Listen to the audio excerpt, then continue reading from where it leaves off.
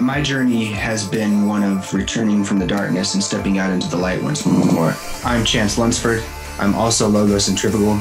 While you're sitting trying to figure that out, this is my podcast. Allegedly. Logocentrifugal podcast. I'm Chance Lunsford. I'm also Logocentrifugal. Maybe you're also Logocentrifugal. While you're trying to figure out how to pronounce that, let me introduce today's illustrious guest. I have with me Longstone. Longstone is a man I met on Twitter we started to sort of connect or I guess uh, resonate on certain ideas of uh, liberty or thinking about things from like uh, maybe anti centralized power or collectivist power perspective. Um, and then from there, we kind of just have gotten to know each other a little bit on uh, just a sort of internet buddy basis. But Longstone's also um, co-creator of a really interesting and um, powerful shooting training system, and he's just an all-around interesting guy. So, with that uh, sort of spaced out and rambling introduction, welcome to the podcast. Thanks for being here, and why don't you tell the audience a little more about who you are and what you do? Thanks, Chance. Uh, my background is in software and systems architecture. Um, so I've basically spent 30 years in the industry working on different types of distributed systems, um, some very large scale ones, uh, working for everything from mom and pop shops to Fortune 500 companies.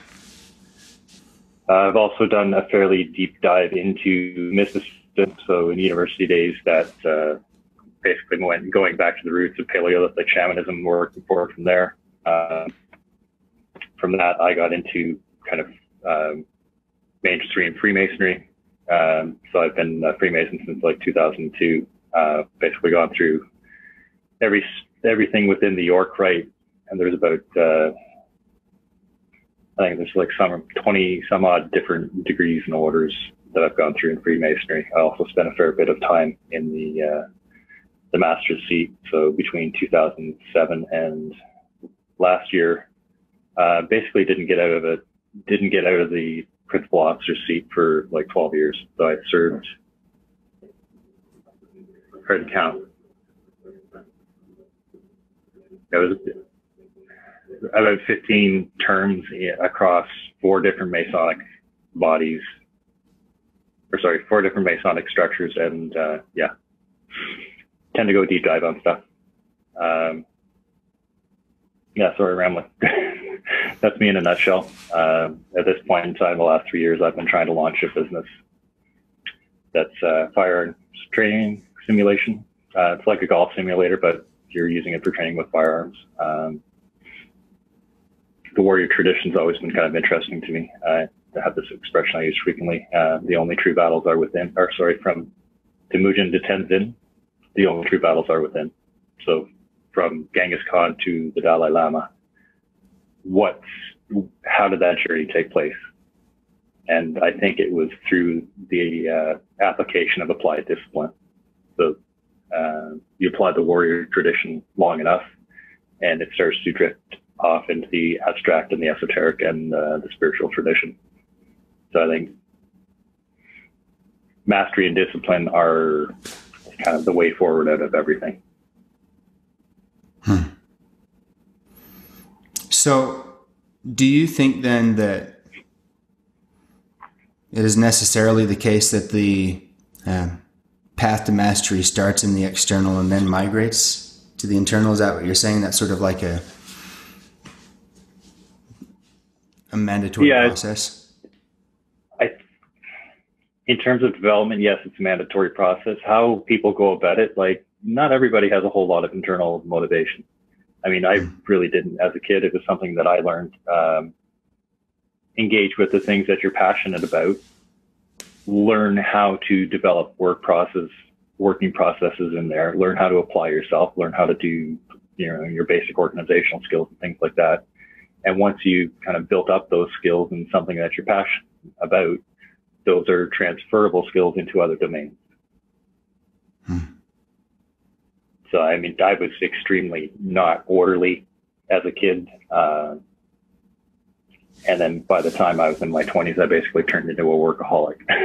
so it's easy to uh, shift, and uh, that interplay from kind of going from one extreme to the other, I think, is something to look at as well. So I think that plays out in some of the personality, temperament stuff. Like people are highly neurotic, it's either going to manifest in uh, withdrawal or explosiveness and whatever someone's baseline tendencies. Like I was, uh, it basically withdrawal is my mode in terms of stress. And if you push someone too far, that's going to flip into explosiveness. Likewise, the people who are really fucking bombastic, they hit that stress level, they're going to shut down and go into quiet mode. Hmm. So, um, part of the idea for me is uh, you're developing weakness as opposed to playing to strength.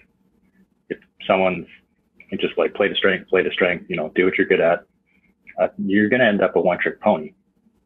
Your skill sets are going to be very narrowly adapted. And I think, especially in the context that we're at, you need to have widely adapted skills. Um, you need to be familiar with multiple different domains and how they intersect. So we can't just like kind of sit in isolation, be a cog or a widget within the context of society. Do as much as possible for you because it's definitely different for other people. But you need to kind of round yourself out, whatever your default temperamental disposition is, or you know wherever you fall on the big five. It's not fixed. So it, that's kind of the thing between nature and nurture. The you've had kids, so you know they they come out, they've got their own personalities from the beginning. They're not a fucking blank slate, any remotely stretch of the imagination. Um, but whatever your starting point is, you need to grow from there. So wherever you're in deficit, I think those are the areas that you kind of need to work on and develop out to actually make yourself a more rounded person. Hmm. I think the more rounded and balanced we are, uh, a we have more resilience and we're more capable of doing effective problem solving, especially complex problem solving. And I think we're lacking a whole lot of complex problem solving capacity in society in general. Like I look at the problems that we have to deal with at structural levels and people can't even see like, you know, 5%, 10% of what's actually on the table, what's required to just start looking at these problems and taking an honest assessment of them. Hmm. It's all kind of uh, emotional reaction and do what feels good, follow your bliss. That kind of, it's all going to be okay. It's like, well, it will be if you get off your ass and try to resolve things. Um, but at the same time, you can't be totally pig-headed about that as well. Uh, you need to have situational awareness. You need to be able to assess the data and the information that's coming in around you and to be able to respond to that accordingly. Yeah. So as I was listening to what you were saying, I was I was sitting there, you know, weighing it, and um, one of the one of the things that I connected with quite a bit is there's a there's sort of this. I like to think of things in terms of cycles and patterns, and there's this sort of a, there's this interplay between, like you mentioned, uh, what happens between extremes.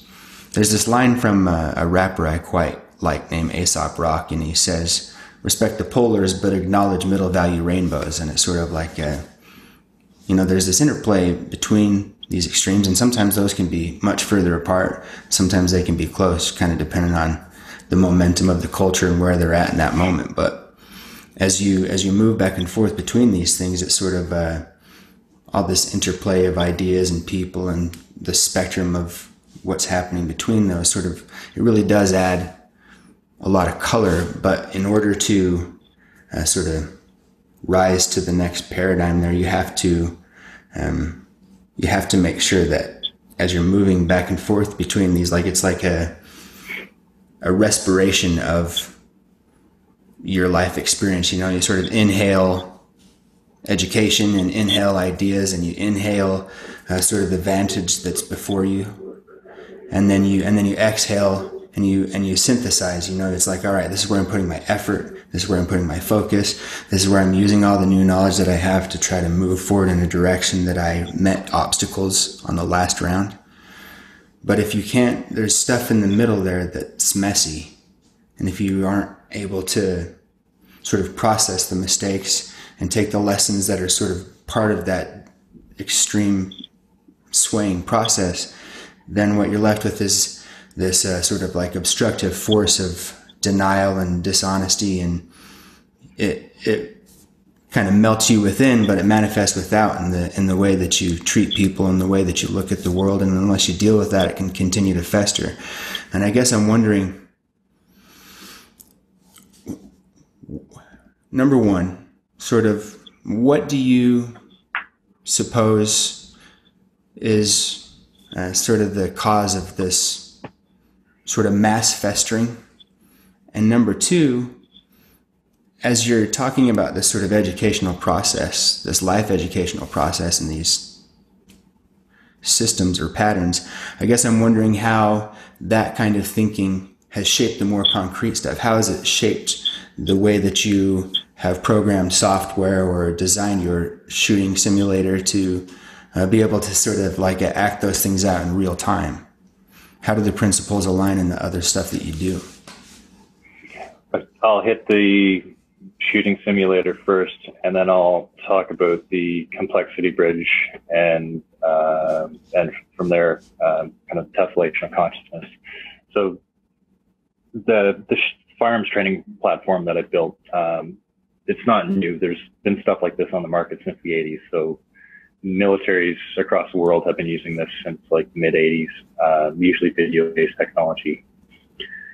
There's, you know, three or four major companies in that military procurement space, uh, Meggitt Training Systems, um, VirTra, Ranges, Milo.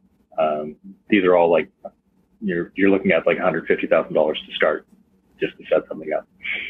There's a couple of other platforms um, that are more consumer grade, even though you're looking at like $15,000 to start. Whenever you get um, an application or a plugin from them, it's basically a standalone application. So you buy compiled game, you install compiled game, and that's the. That's everything you have access to. If you want something else, you have to go buy another module, add it in.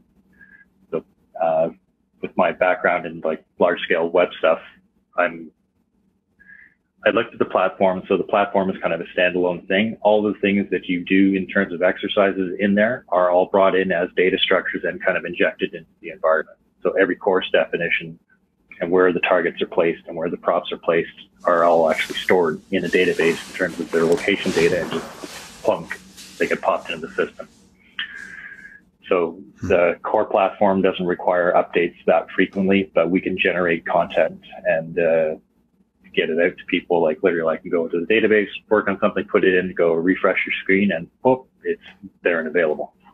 So the hmm. content model is very different, and our pricing model is like very different. We're subscription based. Um, it's like 30 bucks a month US or 30 pounds a month for Europe. Um, you get a base subscription and then you can kind of tack on modules there. So the architecture of that of basically having quote unquote like a dumb client, uh, not really dumb. We're using Unreal Engine. So the environment and the props and assets, like the, the physical quote unquote pieces of that have to be baked into the engine, but how they're displayed and arranged is completely data structure. Hmm. Um, so I think, yeah, I won't dive any deeper into that, but um, let me let me jump in there for a second. Yeah, yeah. Uh, so it's a because that's very similar. I mean, I guess when you're trying to simulate reality, you have to think about the rules of reality and try to emulate them as best you can. And one thing that really sort of hit with me right there was um, there are sort of uh, governing rules that have to be in place uh, in order for it to be a consistent reality. But then there are things that can be built on top of that that are just sort of pick and choose. Um, and I guess I. I'm just kind of curious uh, your thoughts on the on the symmetry with a person's real life decision making apparatus in that way. Well, when I said I wasn't going to go any further, I what I was going to was uh, Iain McGilchrist and the left right brain mm. thing. All right. Well, so the left brain is that uh, the default mode network. I mean, so the left brain's driving the bus in the default mode network, um, speech and aggression type stuff, where it's everything else is basically split, split and it happens within the whole brain. So if the platform itself is uh, kind of the left brain, it has its mode. You know, the physics engine is baked in. We're not messing with that in real time, but uh, the right brain is kind of the back end of the data store. And you've got this balance between here's the fixed operational system, and um, the other part of the brain is constantly doing situational awareness and reintegrating new information into that. Hmm. So I think that's that that's part of the problem where we're in socially speaking. I think is because a we're trapped in dichotomy. You need to break dichotomy in order to do anything effective. You can't solve multi-dimensional or three-dimensional or multi-dimensional problems in two-dimensional thinking. It's just like it's not fucking possible. So um, that interplay is what we're missing. So like in the early 90s, left and right in terms of the political spectrum, um, they kind of meant something.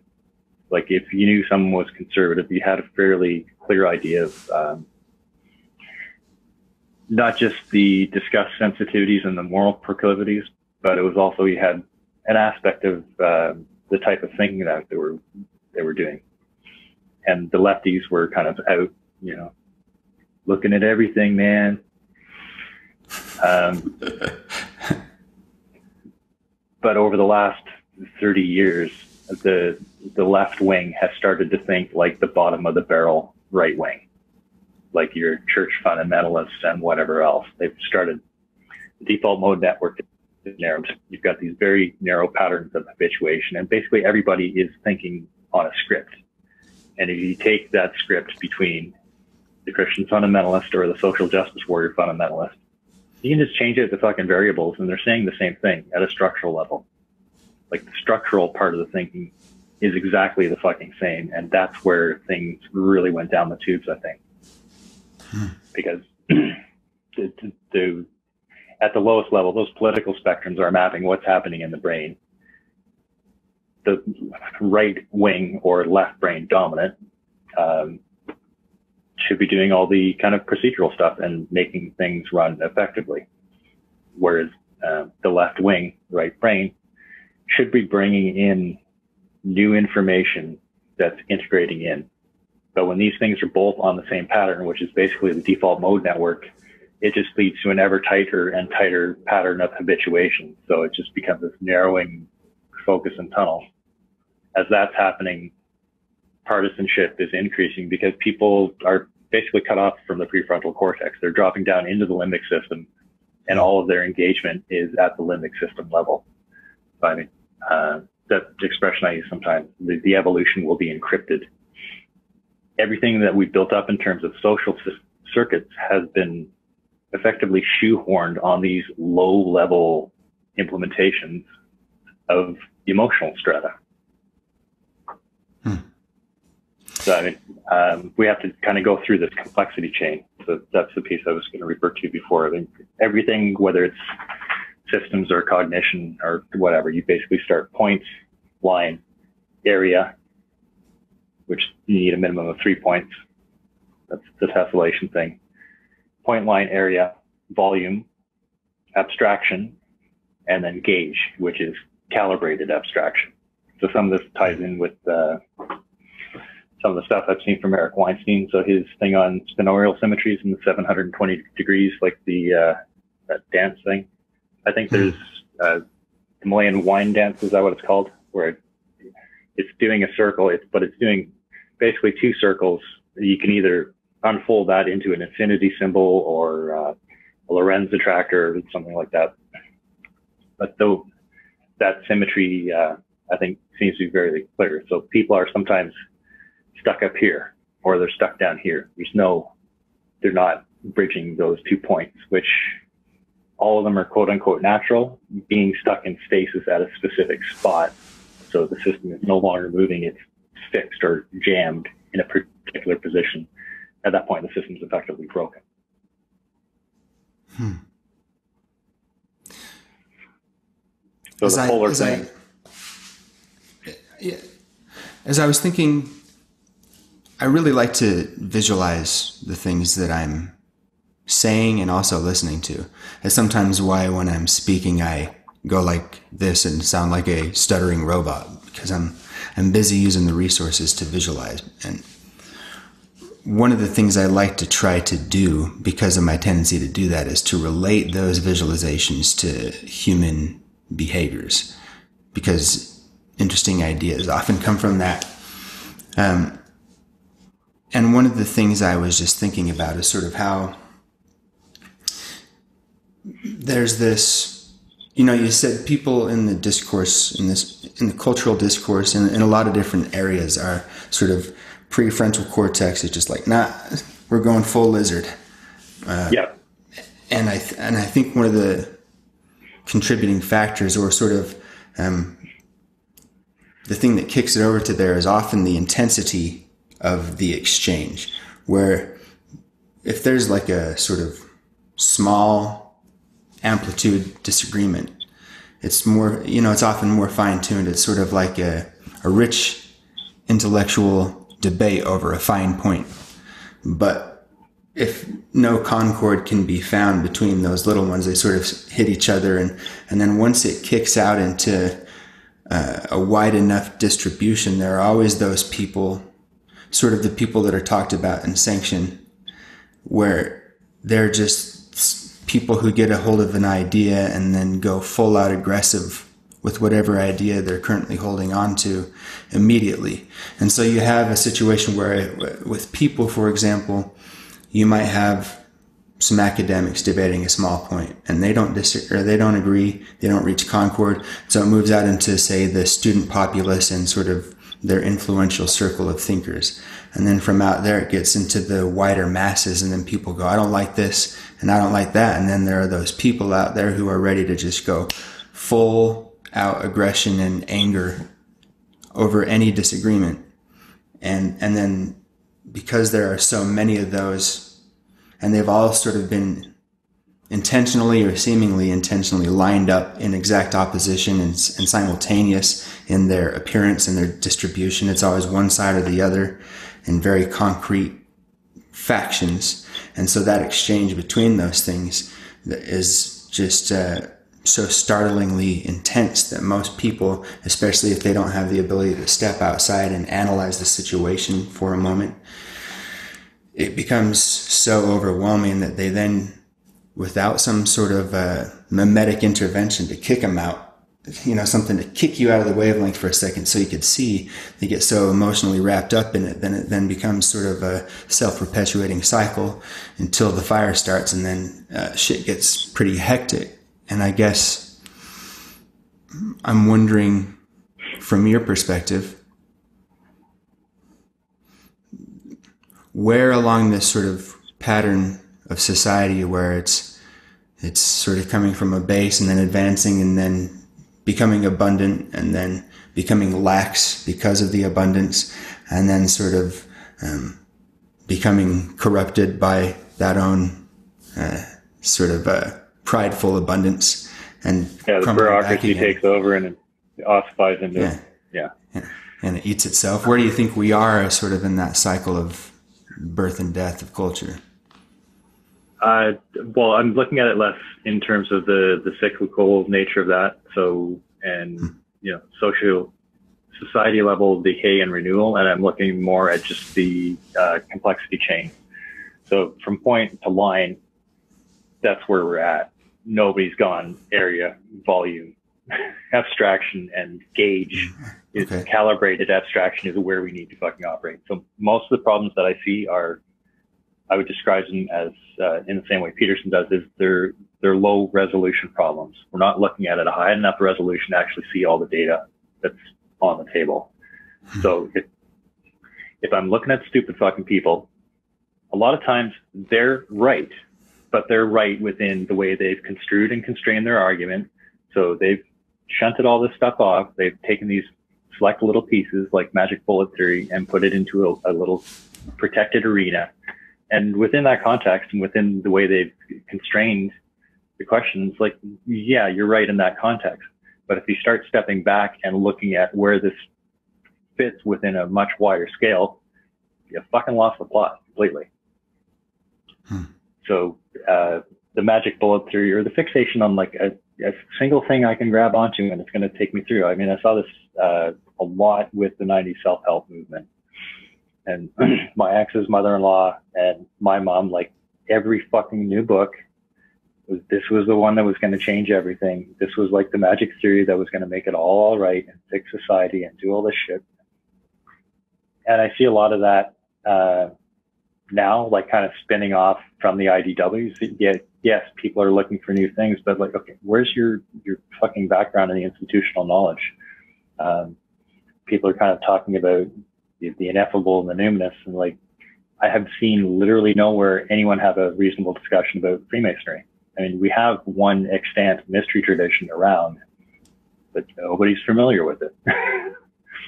and it, uh, it's not really that hard. And in large part, people are kind of lazy. They don't want to work for the information. They want something spoon fed to them as opposed to here's a breadcrumb or here's a centrail. Follow that shit and figure it out.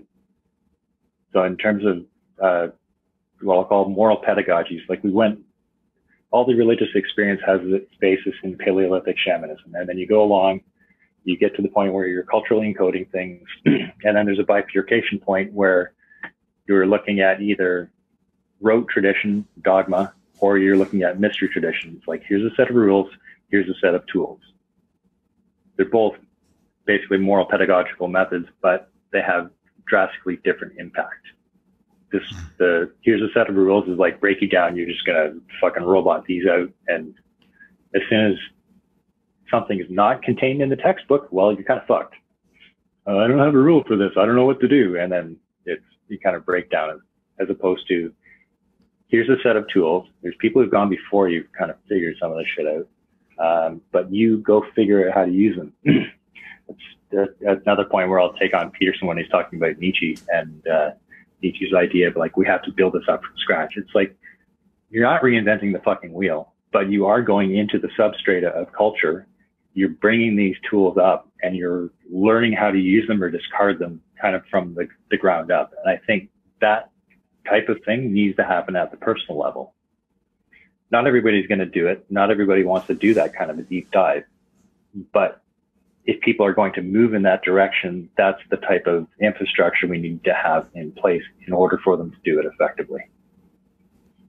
So going back to the dualism of the dichotomy thing, it's like, uh, I think it was one of your podcasts. I went through and listened to a bunch of them last week just before we did this interview. Um, we're talking about slippery slope. so if you've got two poles, you place an axiom in the center that's like a, a moral panic issue, like abortion or guns or vaccines or whatever. All of a sudden, it goes from being a flat field to hmm. you're falling one side of the axiom or the other, and it just gets steeper and steeper. So I think breaking that pattern is moving from point to point to uh, let's see see myself in the mirror or in the screen here. So you go from three points. Uh, I used to use the example like the old Star Trek. They'd have to, you know, jump through. They'd have to go a long distance. Warp drive is broken or whatever, so they head towards a, a star and do the slingshot thing around the star. Use the gravity momentum.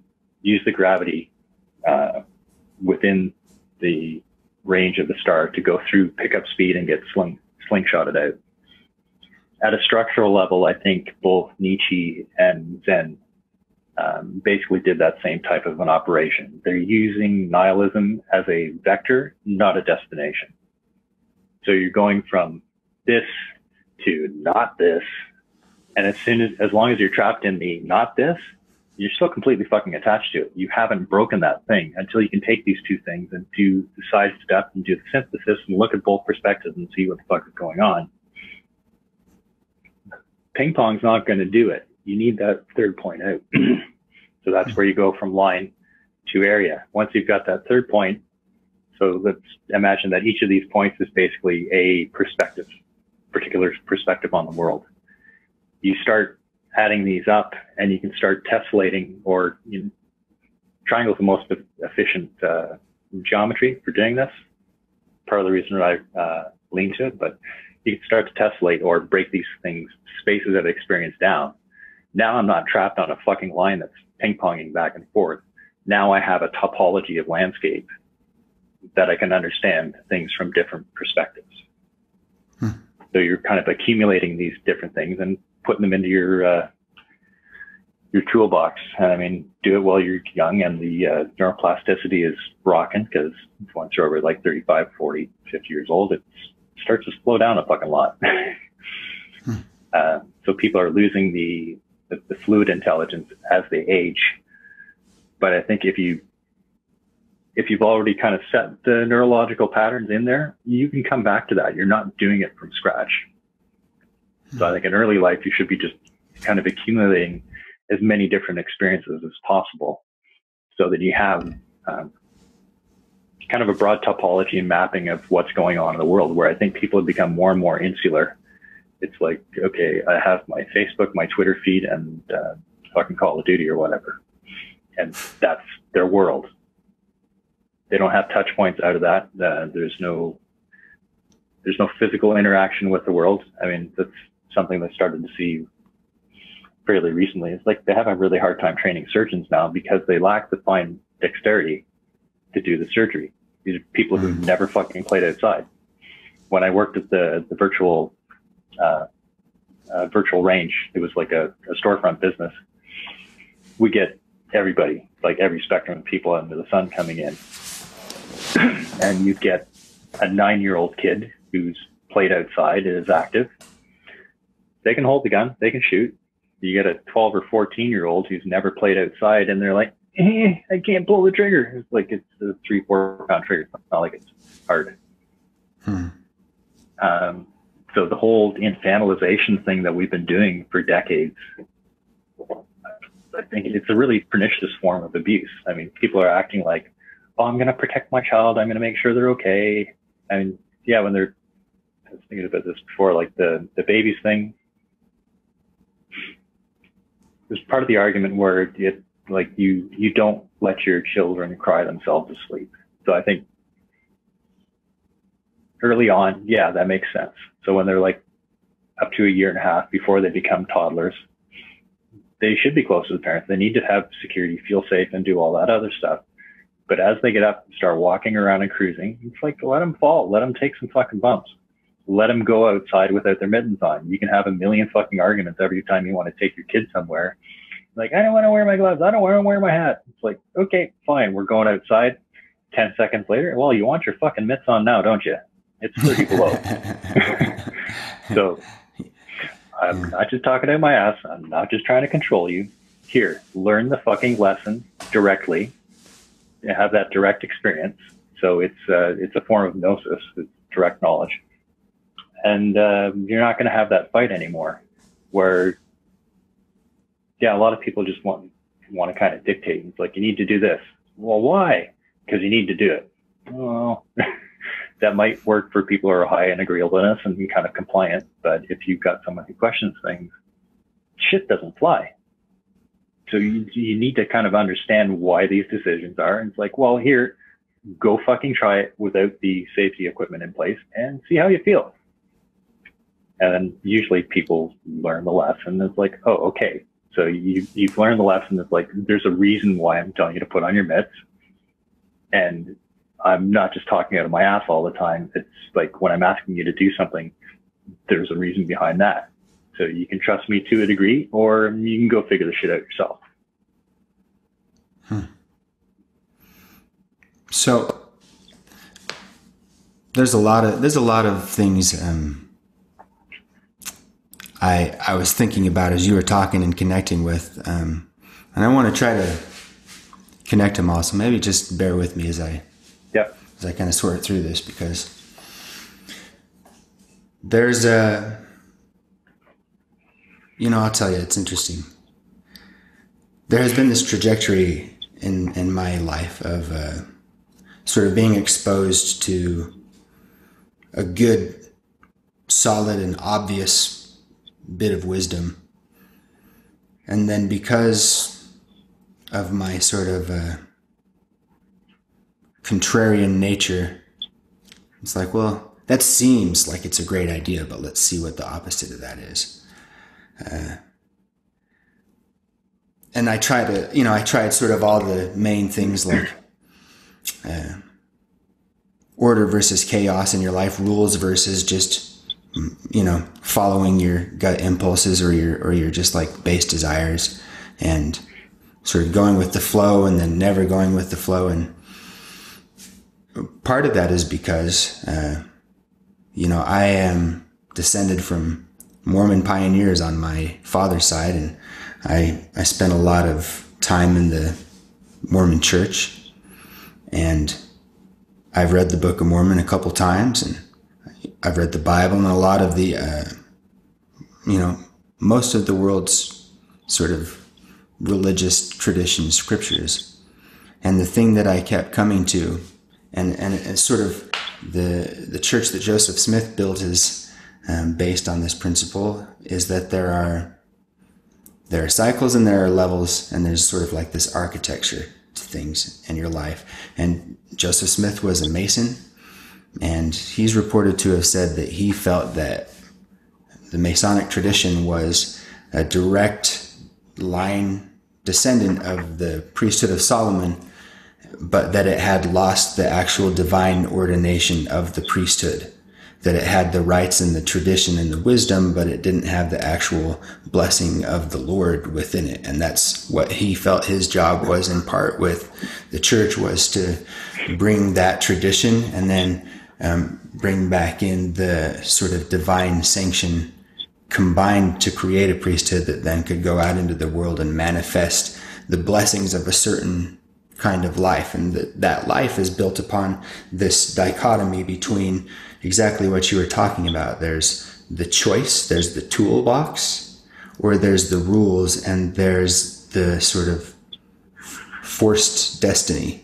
And that the interplay between these two things is the battle for existence, and it's the battle for heaven.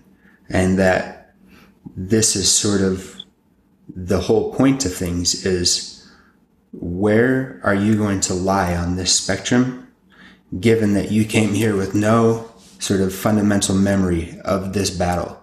That that's the point of this life is to come here and decide are you going to be on the side of choice or the side of force? Are going to be on the side of individual paradigmatic growth and through that growth, the connection to the broader community. And at every level, there's sort of more responsibility, but more potential to create more complex or powerful things and that this pattern of ascension was set into motion by God the Eternal Father, and that He is always creating a higher throne, and then the sort of geometry is that the thrones are filled by the people who are prepared to take that next seat. And I had just, I've been reading slowly this book by uh, Wei Han Zhang, Shang, Shang maybe, The Fractal Brain Theory. And one of the things that's very interesting in that book is that because he was looking to create a perfect AI simulation of a brain, and there's been quite a lot of research that he did and tied into this book, and the architecture is always is always bifurcated, but that there are these chains of bifurcations that give rise to the shape of the of the landscape, but that there are these there are these points where there is emergent features that come at a certain point in complexity and then they operate within those bounds until there's sort of a next order of magnitude. And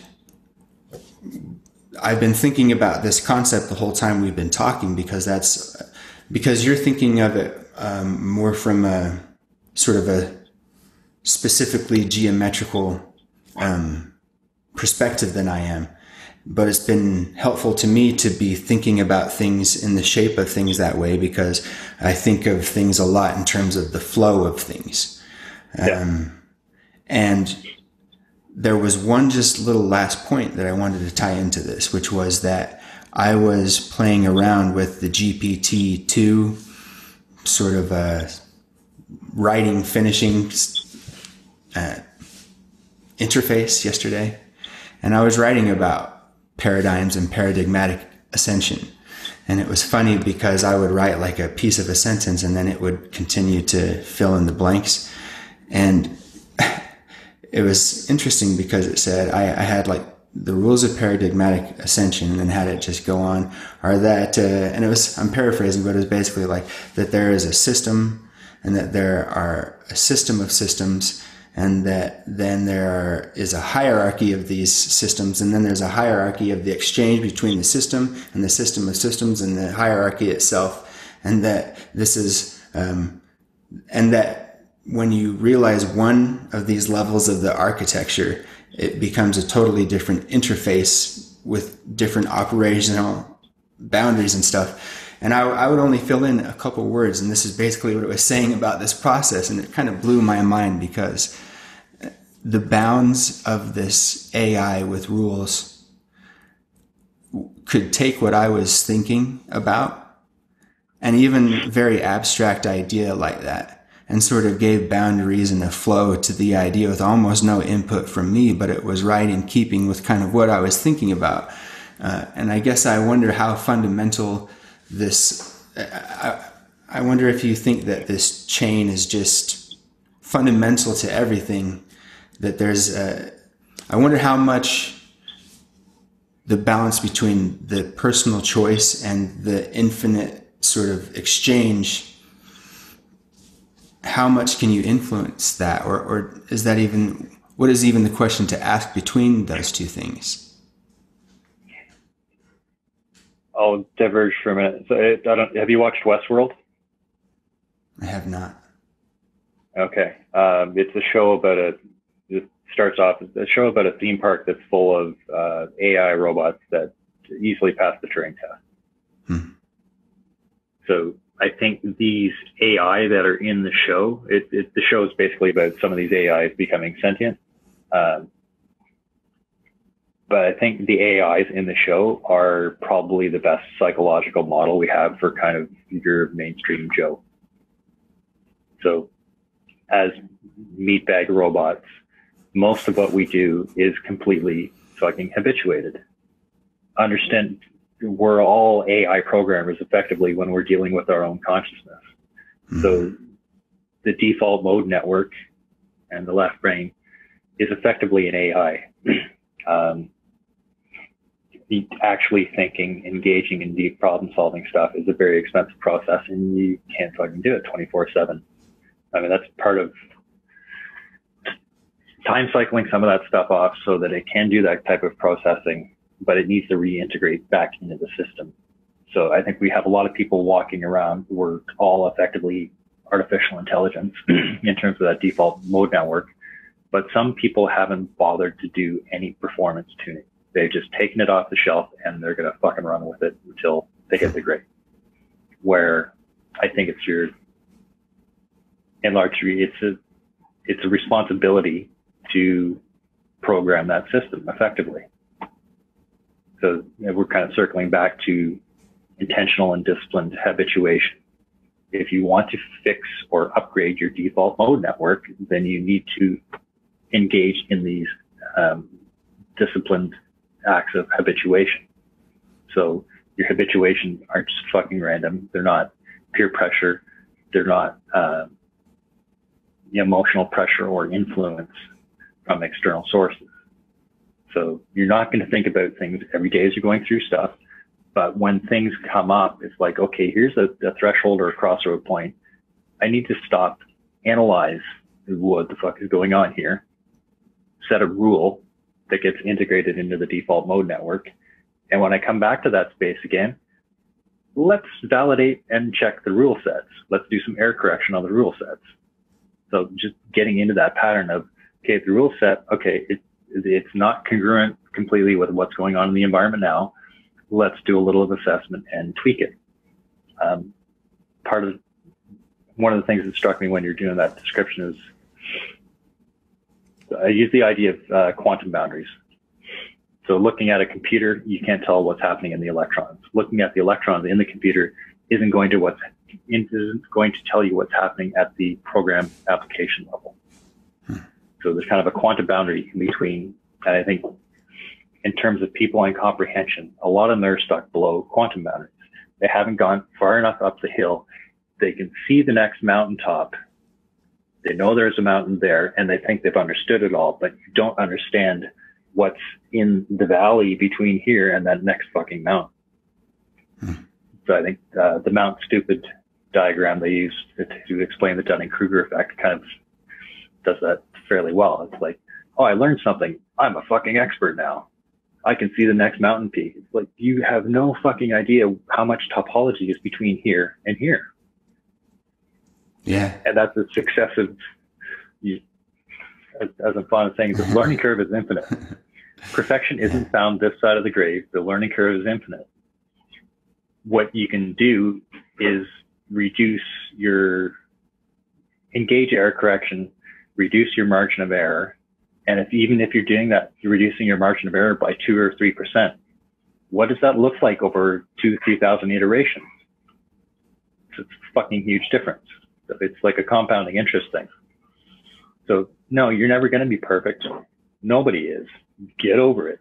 It doesn't mean you can't still get your shit together and be much fucking better than you were before. You know, uh, most of the people who listen to this podcast are at least familiar with the notion that I wrote a book called Uncommon Mentality. And I've often described it as sort of a manual for how to brainwash yourself yeah. and to choose the rules by which you do that. And, and one of the one of the themes that you were hitting on there is something that I talk a lot about in that book and give a lot of exercises around. And it's it's the it's the sort of uh, standard operating system and what kind of conditions will cause you to alter it and how can you create conditions similar enough to those automatic choice making times or like a uh, inputs which will allow you to effectively iterate a, a situation inside of your mind that will be almost the same impact as though you were actually experiencing that moment in that way in, in your real life. And through that process of creating specific vantage points or inserting a new bit of wisdom or an idea into a situation, to flavor it in a way that allows you to process it more effectively, that you can then consciously uh, iterate enough times and with enough intensity that you can change the rule uh, because you've you've both constructed a situation in which it's close enough to the natural um, sort of inflection point that you trick enough of the processes within your psychology uh, into thinking it's real that it, it might as well be real and that then you can take a look at the issues that you're having, the decisions that you continue to make that are not working to your benefit.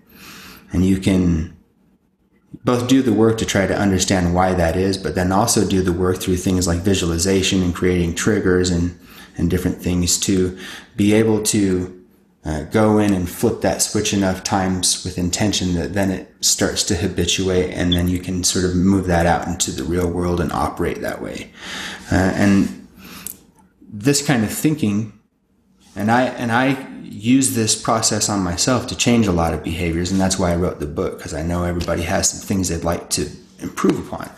And this kind of thinking has sort of led me to be thinking a lot about the broader education system and how, uh, with all the access that we have to understanding, like we've been talking about today, uh, and te- technological capabilities and um, understanding how people work a little bit better and, and there's a there's a real opportunity in the in the sphere of education to be able to create something that is more suited to creating more opportunity and direction in more people than we currently are capable of doing, and in a way that would leave them feeling satisfied and gratified at the experience at a much higher level than our current education system, which is pretty dismal at this point in terms of uh, both preparing somebody for the actual day to day discipline of living and then for understanding how to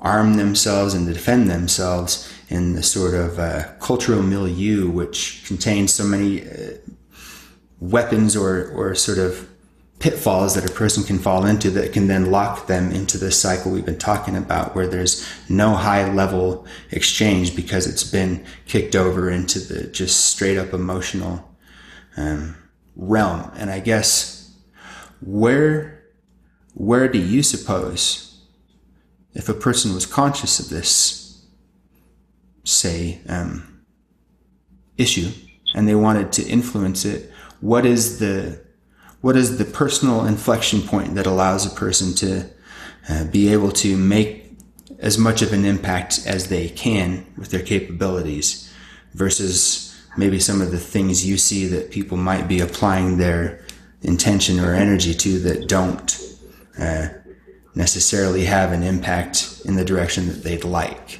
So, sort of, what do you suppose is the is the best way to make an impact, and what do you suppose are some of the ways you could just be spinning your wheels that are most common? I, I don't know if I can answer that directly, but I'll I'll walk around it a bit. So I think unless if you've reached the end of puberty and you haven't developed any type of introspection, it's probably not going to happen. Hmm. And if you reach 25 without engaging some kind of introspection, metacognition, chances are it's never going to happen in your life until or unless trauma forces you into that position. So as a default, most people are, are not engaged in that. In order to do that um, assessment of habits and assessment of input, you need to have metacognition. You need to understand your own thinking to some degree. So the first part of it is that uh, being able to detach from the emotional layer and um, people's lack of ability to read that, I think is really evident because most people can't tell the difference between egoic attachment in an argument in, terms of an intensity. They read intensity or lack of intensity. So most people can't tell the difference between an egoic attachment to an argument versus an impassioned argument. So the the the, the superficial read in terms of body language and everything else might be identical. Unless you start looking at the structure of the language of what's being said and how it's being said, that's where the differentiation is going to be. Is someone, um, you know, I'm right, you're wrong, nah, nah, nah, nah, nah, kind of bullshit. Or you're like, look, you're not seeing the whole fucking pattern here. I'm walking around you trying to breadcrumb and you not realizing there's actually just a bigger fucking context to this problem that we're talking about here. Um, hmm. So figuring out those perceptions in terms of remediation. So I, I, don't think we we talked about this before, but like 20 years ago, I had uh, like a Vox Verba experience. So Vox is uh, hearing the word of, and Verba is uh, hearing as it's spoken by or spoken by angelic or some kind of uh, distance thing. So that was on a really fucking heavy mushroom trip. I think almost half an ounce. Allegedly. Uh, allegedly, yeah. I, yeah, I used to do what they, I guess most people are calling heroic doses on a fairly regular basis when I was digging into shamanism before I got into more uh, formalized mystery traditions. So I had this experience and I was I was tripped out. I was meditating, and then out of nowhere, it was just like this explosive. If you go to the uh, Ben uh, thing on Medium or on GitHub, that's basically the glyph that I saw. It was an equilateral triangle, but it was an Archimedean spiral in each of the segment, segments of the triangle, and it flashed and went and filled it like the lightning just filled it out. And the words that accompanied it were, He appeared to me in flash and thunder. I am but a stone before him. So that experience is what pushed me towards uh, Freemasonry in the first place because I wanted to understand in terms of that whole progression from Paleolithic consciousness to now, need to kind of go back to the root, follow that chain up, and understand um, the whole chain of what's going on in order to actually understand what we are doing here. I think there's an analog in terms of technical and scientific knowledge. If you go back to the 1920s and 30s, all of those books are talking about base principles. So you really understand base principles. Starting in like the 70s and 80s, it's like, well, here's a photoresistor, and you, you, you're not understanding the principles of how we got from low level electronic stuff to photoresistor. Hmm. Not really understanding the base principles, like, oh, here's a widget or a commodity I can take off and I can put the widgets together like Lego, but I have no fucking idea how to actually make it from the ground up.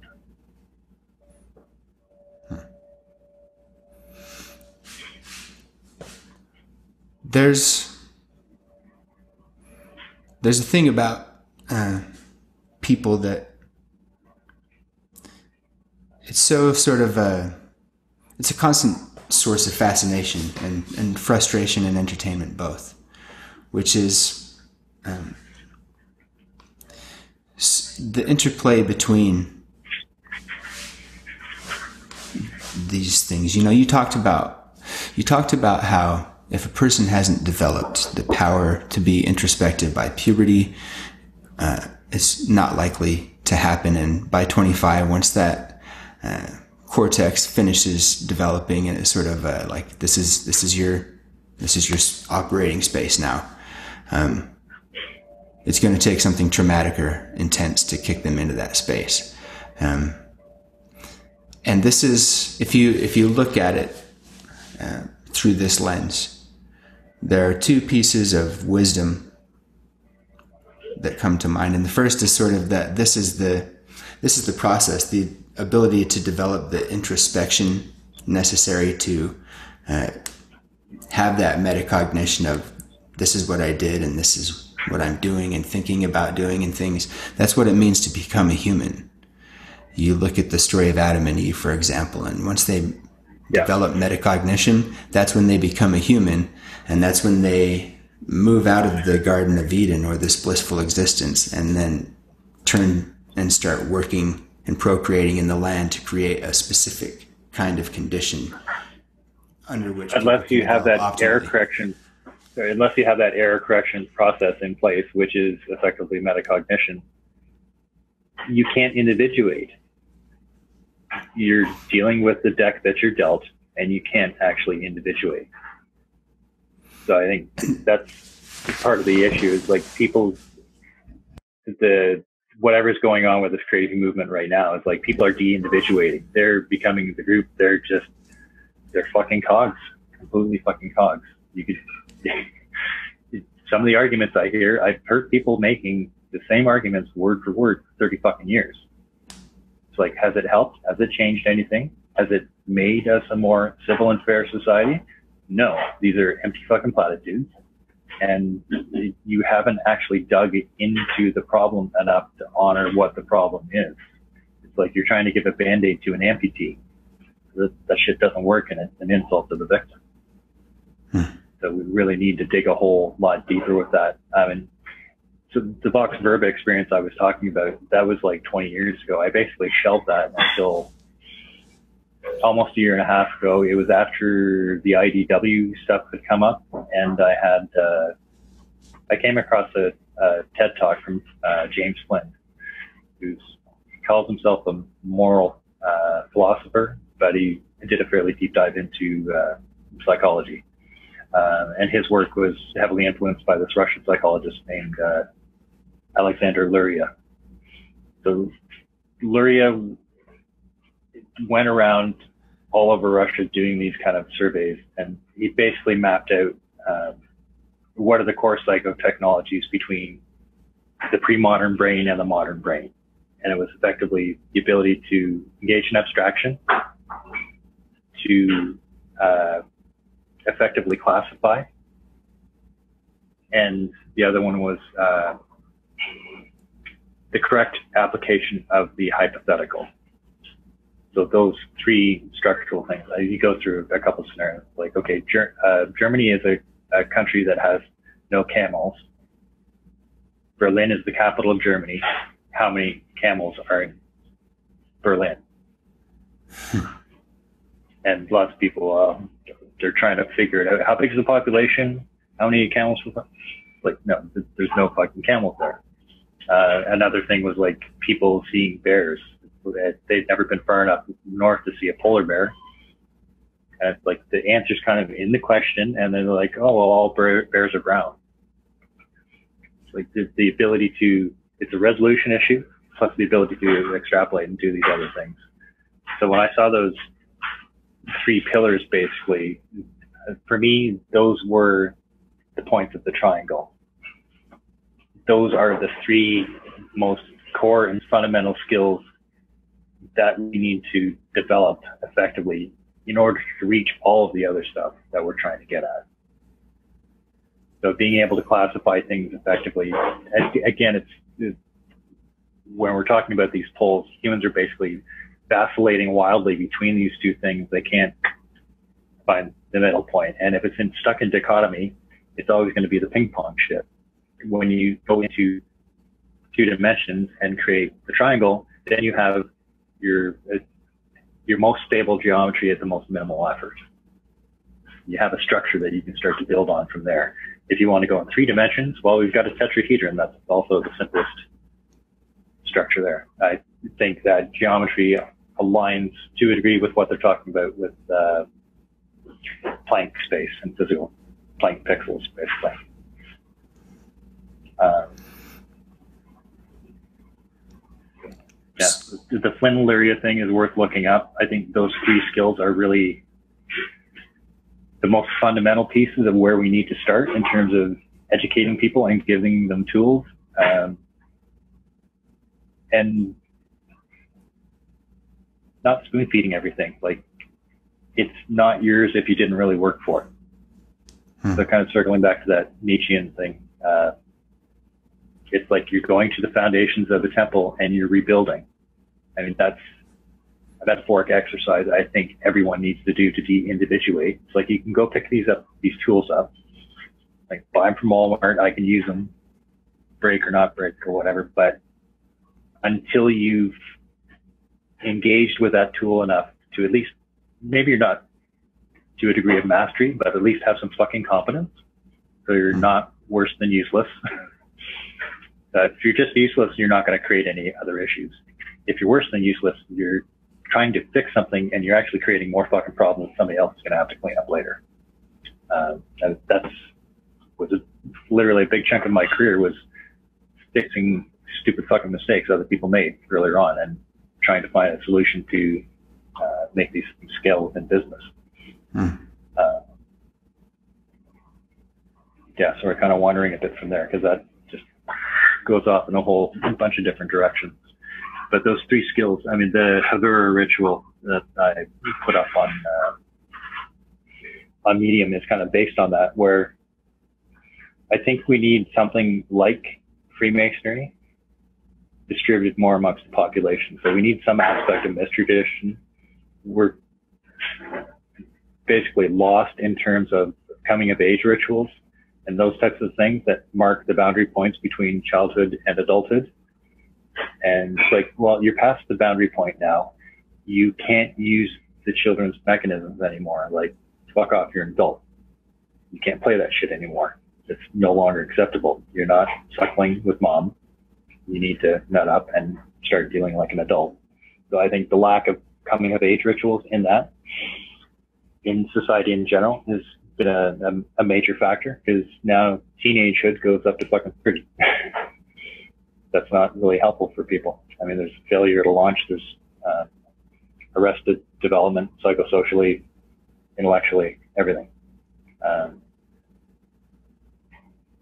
yeah, it's tough, and we have a massive degree of complexity that we need to face, and we're just we're poorly equipped as a species in the first place, and we've been doing a fucking spectacular job of hampering ourselves from even getting close to the ability to doing those types of hmm. things. There's a there's this scene in the first Dune book by Frank Herbert, and it's the Bene Gesserit human test with the Gom Jabbar. And you have a box that you put your hand in, and it makes it feel like your flesh is starting to hurt and then burning and then melting off. It's just sort of like a, a pain creator with a varying degrees of intensity. And as your hand is in there, you have a needle placed against your neck that is poisonous, and just one prick and you will die. You will certainly die. And the test is will you leave your hand in the box and not jerk it out to save your life? Will you sacrifice the hand to save your life, or will you let your base instincts make you jerk your hand out and you will die? And in this scene, the protagonist is exposed to the highest possible degree of pain and passes the test. And there's a confrontation between the boy's mother and her mother superior in the Bene Gesserit order. And she's saying, Why did you do that so much? You exposed him to a higher level than I've ever seen before. And the woman was saying, Well, we had to really be sure that this was a human because of what you've done. You've created this person that the the pattern is not set for all the way yet.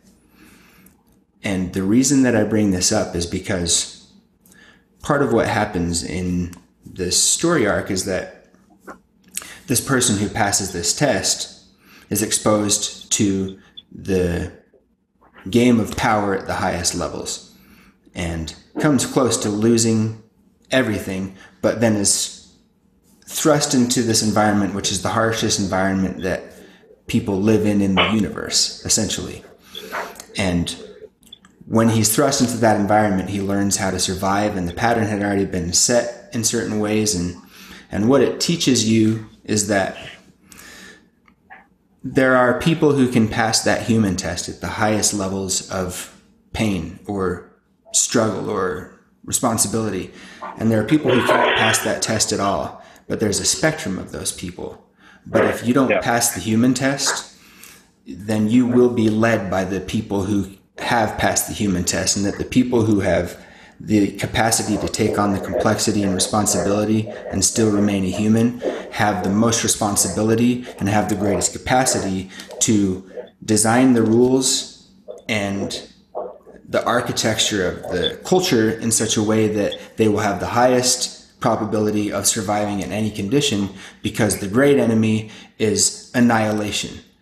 That's the whole, the trajectory of that entire series is eventually that the goal, once they saw the way reality operated, was to advance the human population to such a great distance and degree and so many iterations that it would then be impossible for it to ever go extinct again because there would not be the possibility of um, some one single force being able to wipe all of them out and so humanity would live on in perpetuity. That's sort of the entire story arc of the of the series.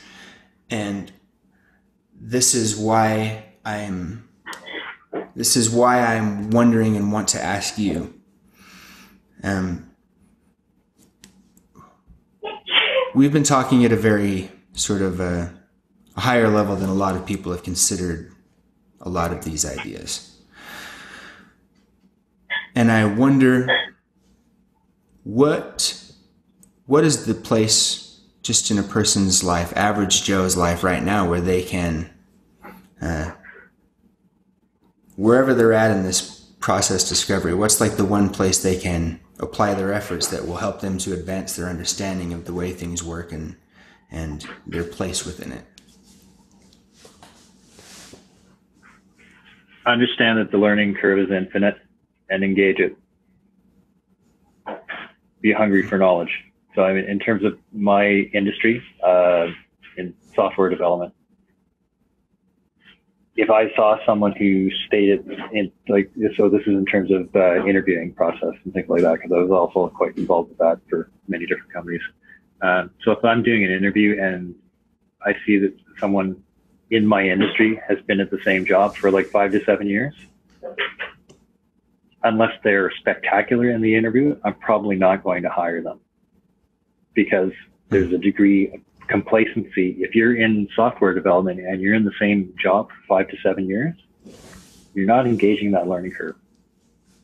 I mean, yeah, there's uh, heavy personal bias there because I don't think I've ever worked for a company more than like 18 to 24 months. I either get sick and tired of the bullshit in politics or uh, people don't want me around because I'm sick and tired of the bullshit in politics. Like I, if I'm signing a, uh, a contract, uh, rub and tug with the manager's ego is not a fucking clause I will sign off on ever. I'm here to do my job in the most professional capacity I can do so, and I will do that aggressively, even if it means stepping on some fucking toes.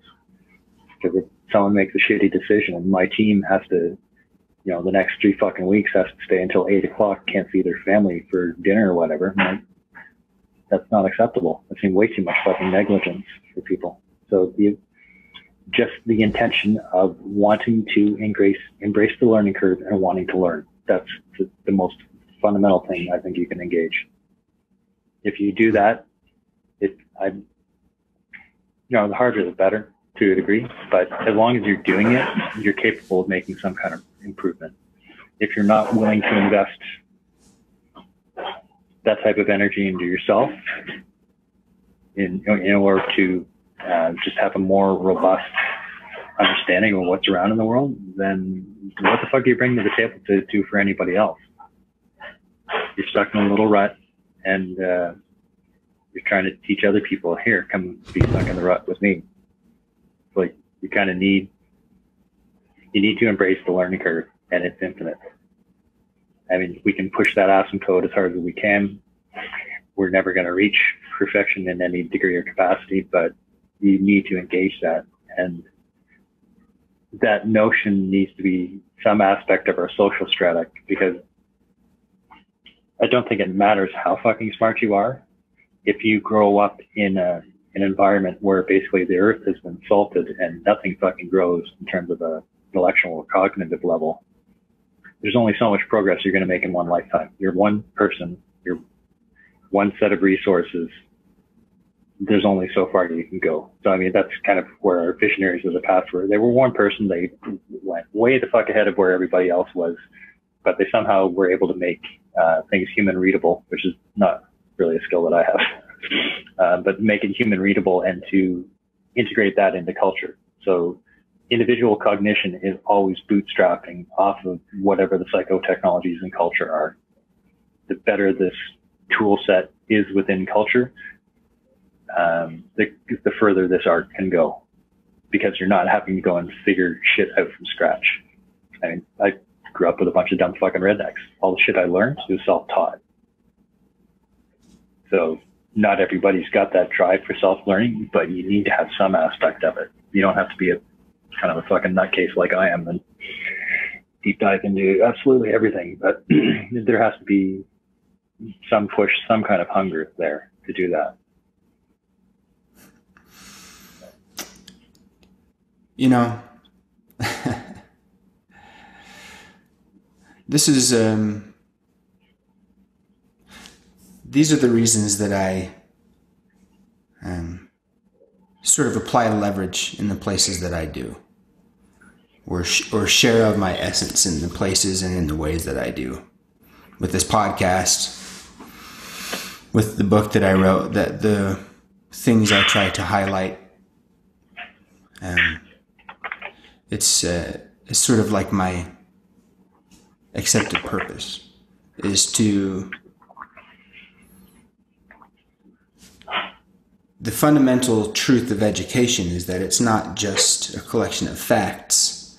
It's it's how it's what shapes what you do. The the rules that you accept then shape your actions and your actions then shape the world.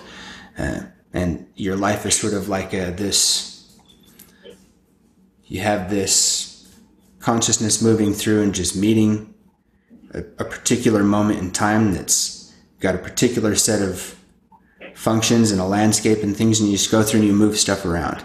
You, you just rearrange the architecture, and uh, if it if it falls apart, you know that you're sort of That was that was an annihilating pattern. And if it stays relatively the same, you're just sort of. But then if it grows or advances, then you you understand that you have um, sort of optimized that process beyond just the status quo. And then you continue to build on those things, and you look for the places in which stuff's falling apart, and you try to stop that from happening. And all of this is. Uh, that's why I have found value in mystery traditions, in scripture, in some of these things like the the Bible is a great example because it presents to you a lot of different conundrums and forces you to contend with them. And through that process of contention, you you develop this ability to look at different sides of things and to make the inflection point there is your choice. It's sort of like here's something presented to you. It's this or that contend with this and you go well i think it's actually this this is what i think this is and that builds your sort of mental framework and if you accept within you ideas that don't let you build that framework because you remove the component of choice or deciding for yourself how you feel about the situation then you don't have the platform or the foundation or the architecture to actually like you said individuate into a person who has decided what rules they're operating by. And this is why I, one of the main things I try to get people to do, and I always try to take things like this and then simplify it in a way that people could just go do it right now. And what I ask people to do is to go write down 10 rules that are their rules. This is what I think is the way to operate in life. And just to remind yourself of those rules and to try to operate by those rules and, and see what happens in your life. Decide who you are through your rules and then see if you really live that way. And then if you don't, ask yourself why and try to inflect in those places that you can align yourself to your highest ideal. And that is the learning process. And that's why I'm interested in this. And that's, um, that's why I've been quite enjoying this conversation because this process that we sort of take for granted as kids. You put the kids in the school system, say, and then they get out and they go live a life that has relatively little to do with that education. It's like a demarcation point of childhood, but there's no, uh, like you said, sort of rite of passage. There's no concrete. It's just like um, you were in this system that didn't really prepare you to live and gave you some knowledge that wasn't, most of this wasn't that useful to you or even maybe accurate. And then now go live your life. Whereas the the system that optimizes a person for life, there is no sort of um, the principles that you learn are the whole. It's like the the point and the process all tied into one. You choose how to live, and then you watch what happens, and you should choose the side of not annihilation at the very least, and that there are levels to that. That there are, you know, you there are levels to the way you can understand something, and the higher the level you get, the more sort of power that is within you to bring to bear because of that understanding and knowing how to use it. If you design the system to teach that and then apply it specifically to different areas of knowledge and action, and then allow a person to develop the things that they like and then to support those things with the things that will help them not crumble apart the base of their architecture that that is the system that gives people the greatest opportunity to do amazing things and to live a life they actually want to live. And that we're doing miserable at that as a collective society. Um, and part of it is because what you've talked about with this sort of low level oscillation of, of just sort of stunted discourse. And I, I, guess I, I just wonder, man, uh, what, what do you suppose is going to happen because of this seeming inability to pull the cultural momentum and dialogue out of this uh, just sort of very base, simplistic space that it's operating in at such a high intensity? I don't know. I think we could be facing collapse, quite honestly, in terms of social level. Um, if things get to the point where they interrupt our whole just-in-time networks and all this global interdependency in terms of commerce, if that if the social destabilization hits there, then it's just down the tubes real fucking quick. I mean, with uh, I don't know, Europe or Asia's like, but just-in-time markets here, basically your supermarket has three days worth of food. When that's done, if there's no new stuff coming in, like it's cut off. It's not a gradual transition. It's like the wall, the tap just fucking turned off completely. Um, and I, yeah, there's the, the attachment to things and commodity, whether those commodities are physical objects or whether they're experiences or whatever else. The fixation thing is kind of a problem. While you were speaking before, I was kind of thinking back to something I learned fairly early with psychedelics. Like people will want to go and do a heroic dose or whatever, and they're like, oh, "I'm going to write all this stuff down," and like, no, it, it doesn't work that way.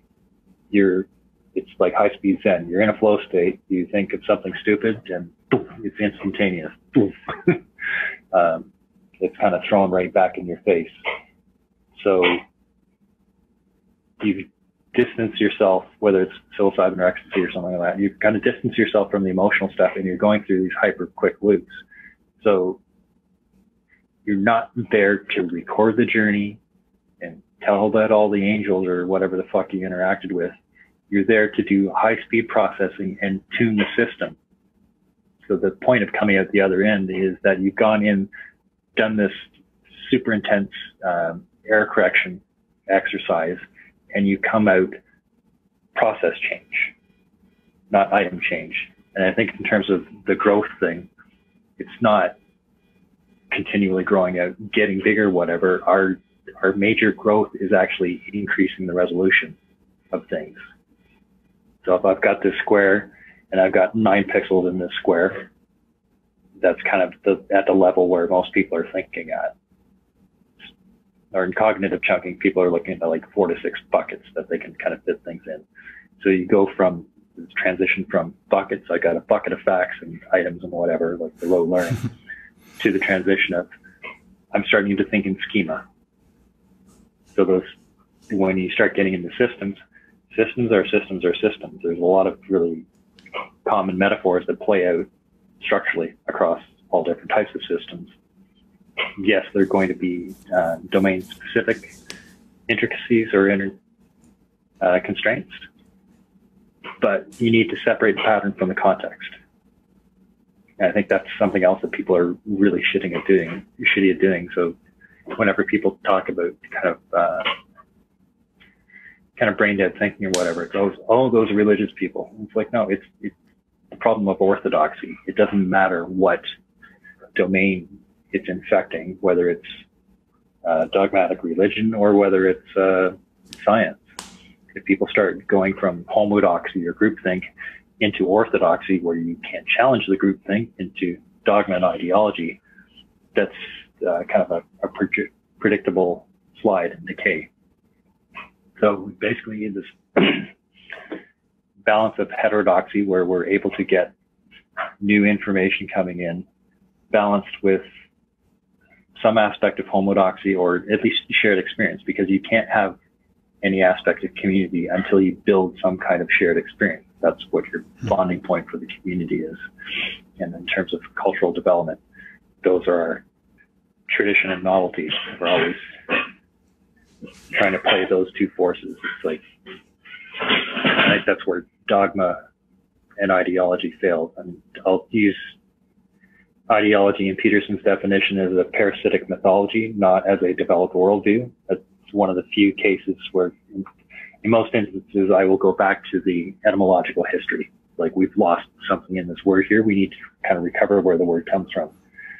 Ideology is one of the few words where I'll, I'll say the, the modern uh, interpretation of it, uh, or spe- specifically Peterson's use of it as a parasitic mythology, is the appropriate context. So when people say every ideology has a place at the table, I'm like, fuck no, no ideology has a place at the table ever. Bring as many methodologies as you like, we will sort it out. But the ideology, go sit on the fucking stairs until you can become an adult. Ideology mm-hmm. already has the answers before the question has been posed. That is not a way to solve problems.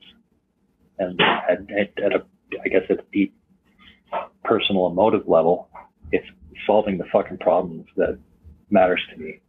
I mean, one of the recurrent nightmares I had as a kid was very fucking weird and abstract. I was basically just passing across this featureless plane until turbulence would come up.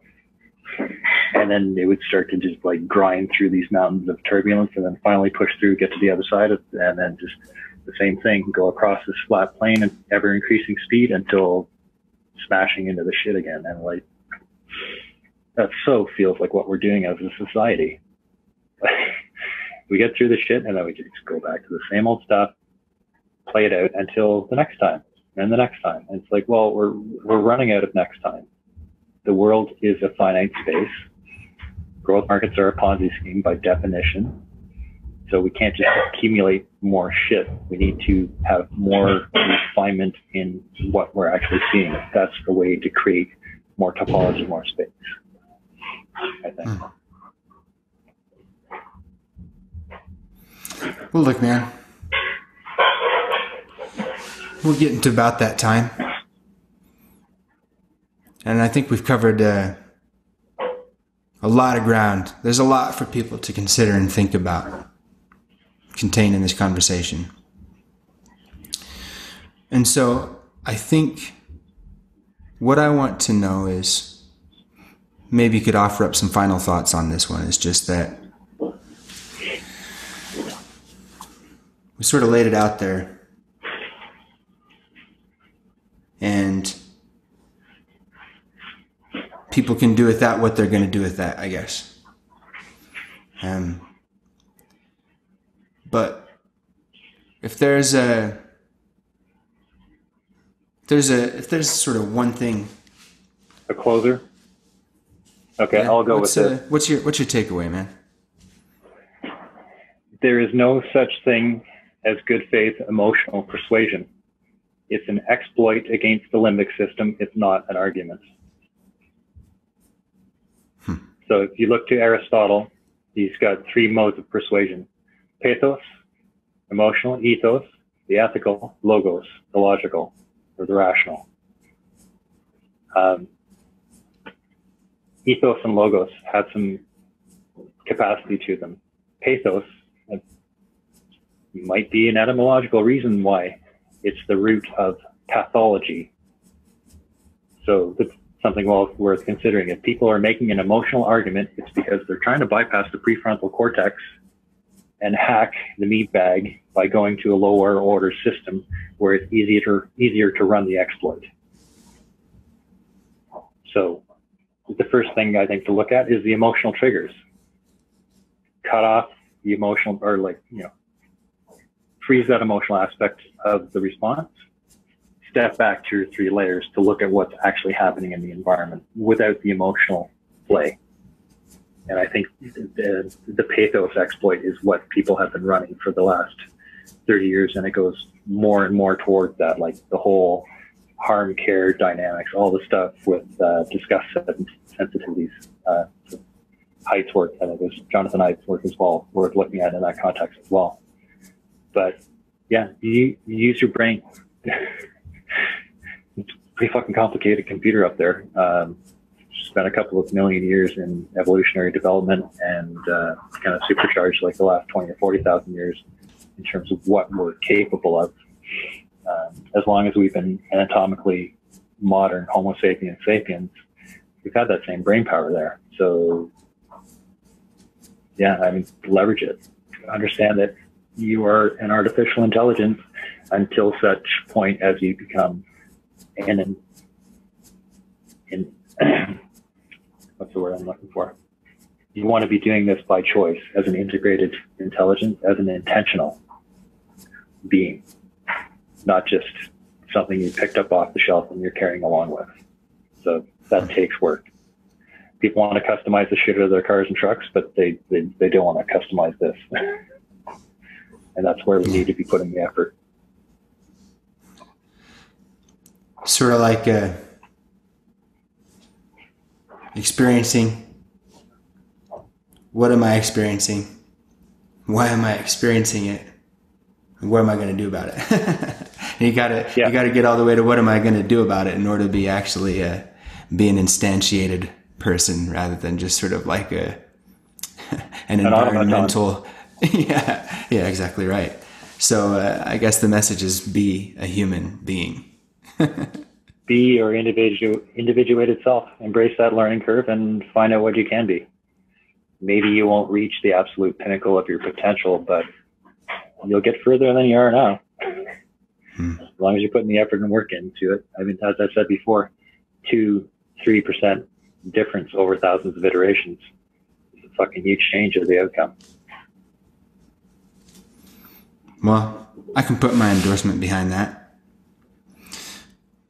So I guess I, I just want to thank you for coming on. I, I wasn't uh, I wasn't necessarily sure uh, What you were getting into. what yeah what our conversation was going to be like, and Yeah. it took a very interesting and contemplative and, and thoughtful turn. So uh, I appreciate you coming on and sharing your wisdom and your thoughts with uh, with me and with the audience as well.